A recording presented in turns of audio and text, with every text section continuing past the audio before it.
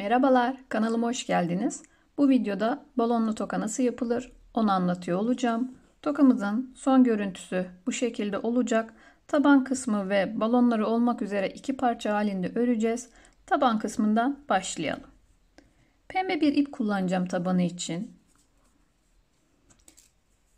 Başlangıç zincirimi oluşturuyorum.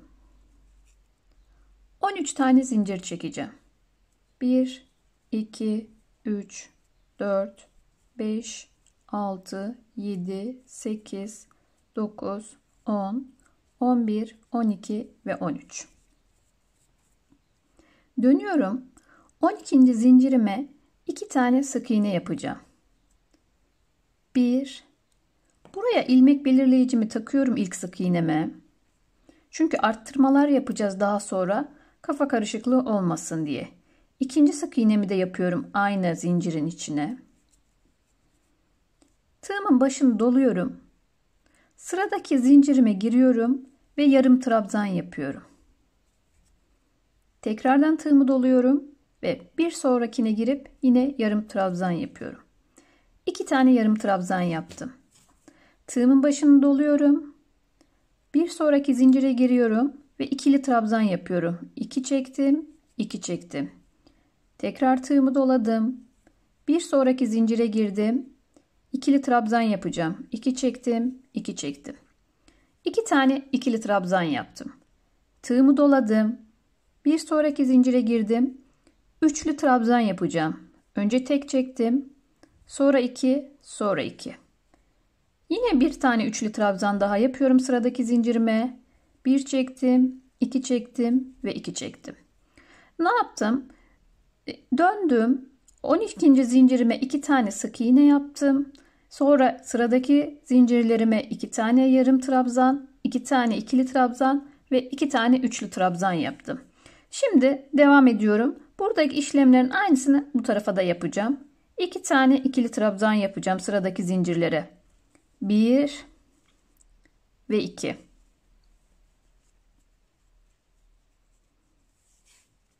2 tane yarım trabzan yapacağım. 1 ve 2. Bunu tekrar yapıyorum ikinciye.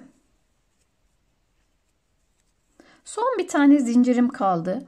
Oraya da 3 tane sık iğne yapacağım. 1 Buraya hemen ilmek belirleyicimi takıyorum. İlk sık iğneme.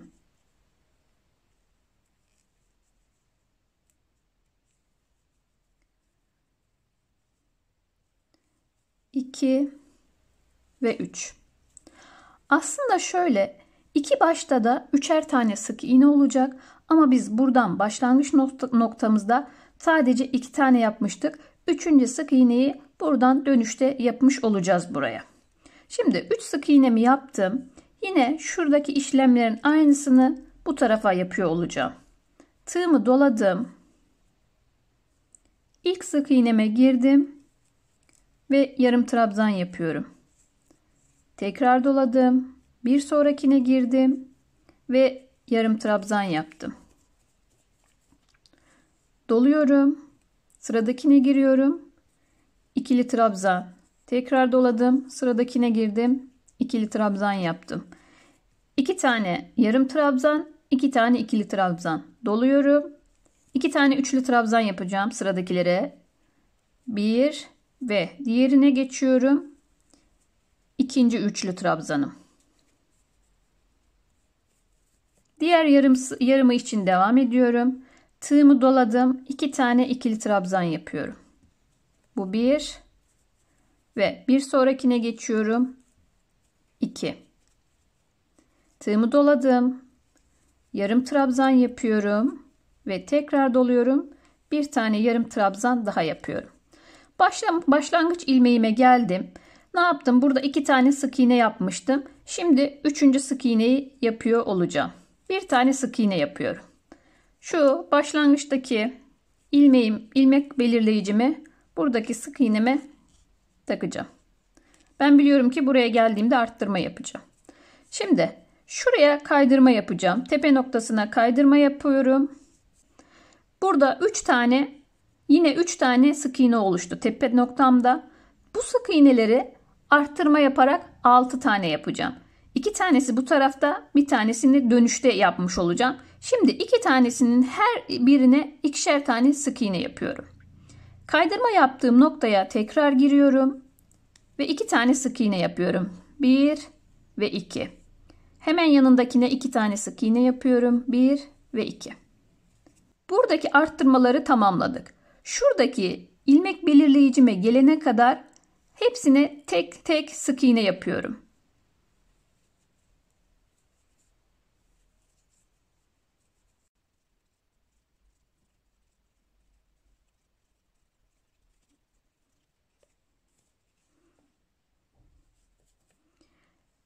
İlmek belirleyicime geldim. Çıkartıyorum.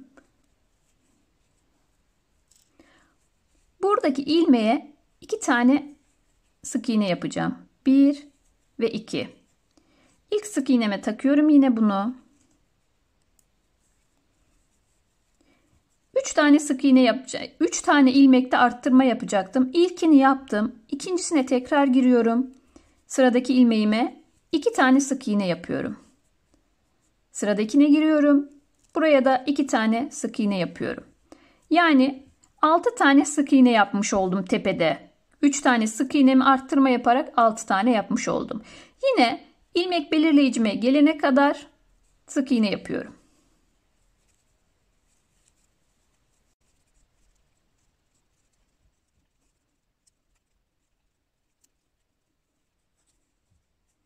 İlmek belirleyicime geldim. İki tane ilmeğimi burada arttırmıştım. Sonuncu üçüncü olanı burada arttıracaktım. Bunu çıkartıyorum ve buraya iki tane sık iğne yapıyorum. Bir ve iki. İlkine yine ilmek belirleyicimi takıyorum. Şimdi diğer sıraya geçeceğim. Tepe noktama ilmek kaydırma yapıyorum. İlmeğimi kaydırdım. Bir üst sıraya geçeceğim. İlmek kaydırma yaptığım yere iki tane sık iğne yapıyorum yine. Bir ve iki. Bir sonrakine tek yapıyorum. Bir sonraki ilmeğe iki yapıyorum. Bir, iki. Burada tekrar arttırma yapmamın sebebi gerilme olmasın diye tabanda çekme olmasın, gerilme olmasın diye tekrar arttırma yapıyoruz. Bir tane tepede yaptım. Bir ilmeği boş geçtim. Sonra ikinciye tekrar arttırma yaptım. İki sık iğne. Burada da bir tane de burada arttırma yapacağım. Ve işlemimizi tamamlamış olacağız. İlmek belirleyicisine gelene kadar aynı şekilde sık iğne örüyorum.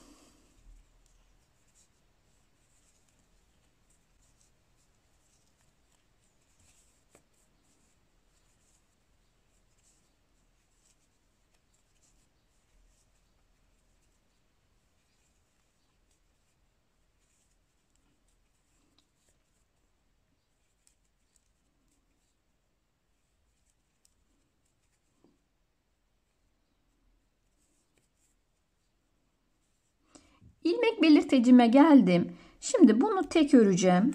Burada arttırma yapmayacağım. Çünkü tepe noktaya yakın bir yerde arttırma yapmak istiyorum. Onu ördüm. Yanındakine hemen iki tane arttırma yapıyorum. Aynı sık iğneye iki tane girdim.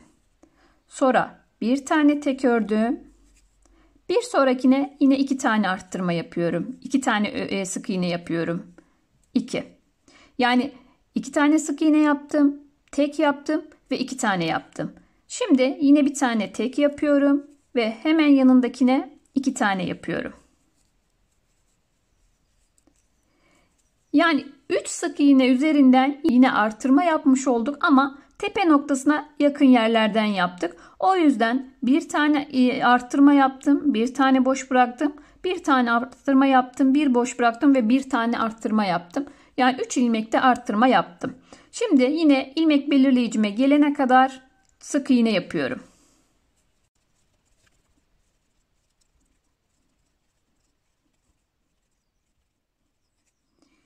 İlmek belirleyicimi çıkartıyorum. Buraya bir tane sık iğne yapıyorum. Ve tepe noktasına yakın yerde arttırma yapacağım için bir sonrakine iki tane sık iğne yapıyorum. Burada bir tane tek sık iğne yapıyorum son ilmeğime ve kaydırma yapıp kapatıyorum. Taban kısmımız bu kadardı. Şimdi kenar süslemesini yapacağız. İpimi kopartmadan devam ediyorum. 3 tane zincir çekeceğim. 1, 2 ve 3. Bir tane sık iğne atlayıp ikincisine giriş yapıyorum ve ilmek kapama yapıyorum. 3 tane zincir çekiyorum. Bir tane boş bırakıp ikinciye giriyorum ve ilmek kaydırma yapıyorum. 3 tane zincir çekiyorum. Bir tane ilmeği boş bırakıyorum. İkinciye giriş yapıyorum ve ilmek kaydırma yapıyorum. 1 2 3 zincir. Bir tane boş bırak, ikinciye giriş yap ve ilmek kaydırma yap. Başlangıç noktama gelene kadar aynı işlemi tekrarlıyorum ve bir tane zincir yapıp ipimi kesiyorum başlangıç noktama geldiğimde. 3 tane zincir çekiyorum. Bir ilmeği atlayıp ikinci ilmeğe girip ilmek kaydırmayla birleştiriyorum.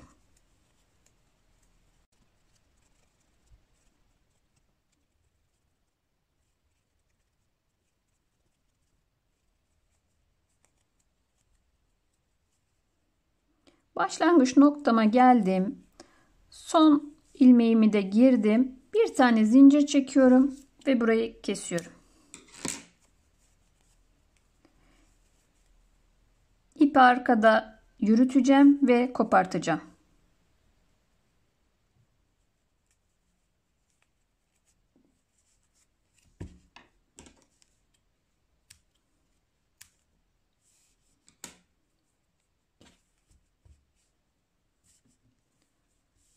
Taban kısmımız bu kadardı. Şöyle bakıyorum son görüntüsüne. Şimdi pomponları yapacağız. Yeşil ipimi alıyorum.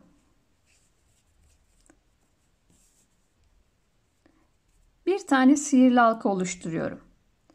Halkamı sabitliyorum ve iki tane zincir çekiyorum. Tığımı doladım. Halkamın içine girip şu şekilde biraz uzattım. Tekrar doladım. Halkaya girdim ve uzattım. 6 kere aynı işlemi yapıyoruz. 2 3 4 5 ve 6. Sihirli halkamın ucunu kendi içerisinden halkanın içinden geçiriyorum. Buraya düğüm atıyorum. Sonra ortaya doğru bunu çekiştiriyorum ki burayı sağlamlaştırıyorum. Tam ortalayın bunu. Sonra tığımdaki iplerin, ilmeklerin hepsini aynı anda çekiyorum.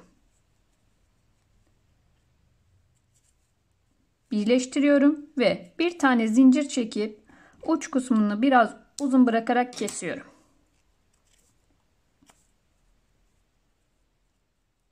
tane daha yapacağım aynısından. Sihirli halka oluşturdum. Halkamı sabitledim ve iki tane zincir çektim. Tığımı doladım. Halkanın içine girip biraz uzattım. Doladım. Halkanın içine girdim ve uzattım. 6 kere aynı işlemi yapıyorum. 2 3 4 5 ve 6. Halkanın ucunu kendi içinden geçirtiyorum. Ve ortaya doğru çekiyorum. Kapatıyorum halkayı. Tığımdaki ilmeklerin hepsini aynı anda çekiyorum ve biraz şekil veriyorum. Birleştiriyorum. Bir tane zincir çekip kopartıyorum.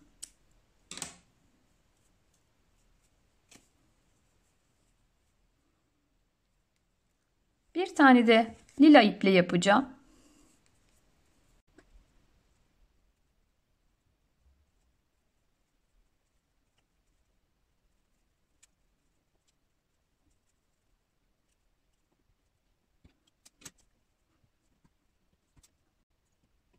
Pomponlarımız da bu şekildeydi. Şimdi şöyle son görüntüsüne tekrardan bakıyorum. Sap kısımlarımı yapacağım. Bunun için iğneme yeşil bir ip alıyorum. Tabanımın şuradaki deliğinden giriyorum. İlk başta 3 tane sık iğne yapmıştık. Oradan giriyorum. İpimin ucuna bir tane düğüm atacağım. Girdim. Alt kısmından arka tarafa geçiyorum. Hemen yandan çıkıyorum. Tekrar içeriye giriyorum. Diğer taraftan çıkacağım.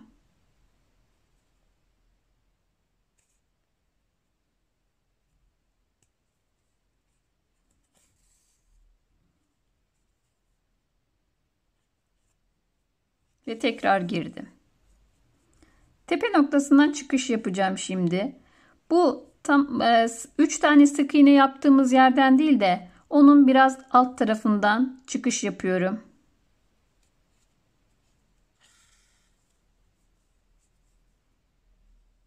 Uç kısmından içeriye doğru giriyorum.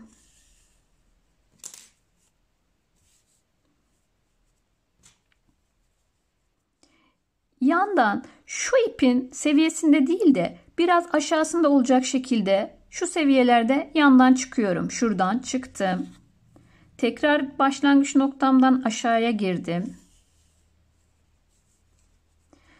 Diğer tarafta şununla aynı seviyede olacak şekilde şuradan çıkıyorum. Ve tekrar başlangıç noktamdan aşağı iniyorum. Sap kısmı bu kadardı. Arkada bunu sabitliyorum ve kesiyorum.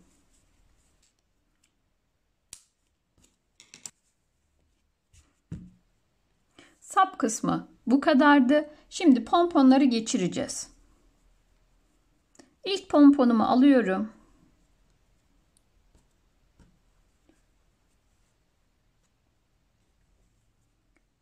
Sapımın şu noktasından tığımla geçiyorum.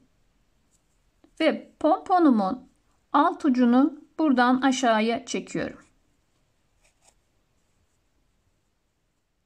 Diğer ucunu üst noktadan şuradan giriyorum ve onu da aşağıya çekiyorum.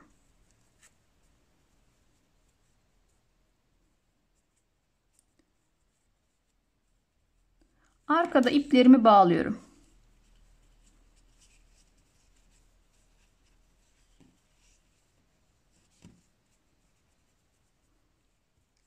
Diğer pomponumu alıyorum. Sapın uç kısmından çıkış yapıyorum. Ve pomponun alt ucunu buradan geçiriyorum.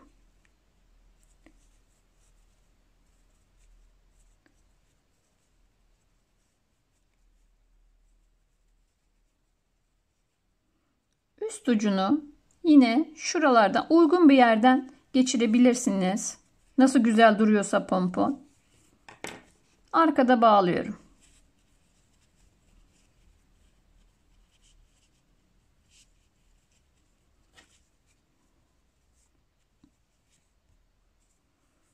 Sonuncu pomponumu alıyorum.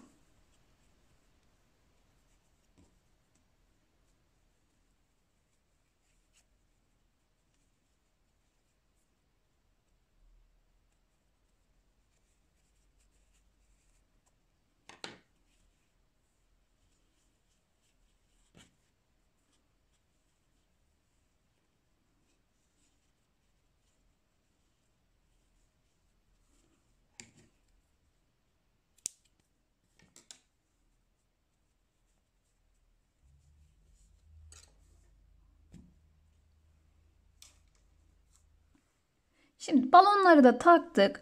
Şuradaki küçük fiyonku yapacağız. İğneme mor bir ip taktım.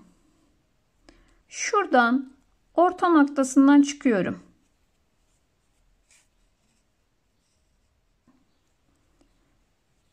Şöyle elimle biraz ip bırakıp tutuyorum ve aynı noktadan aşağıya tekrar iniyorum. Şurada oluşturmuş olduğum halkanın içinden iğnemi çıkartıyorum alttan.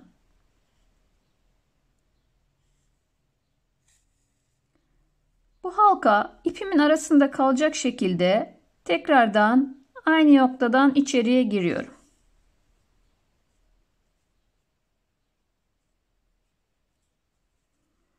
Orta noktadan tekrar çıkıyorum.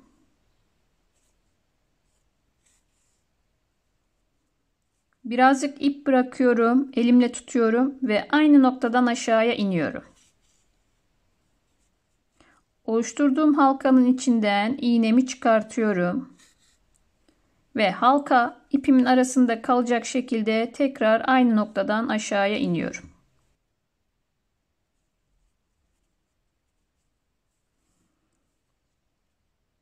İpimi arkada sabitliyorum ve kesiyorum.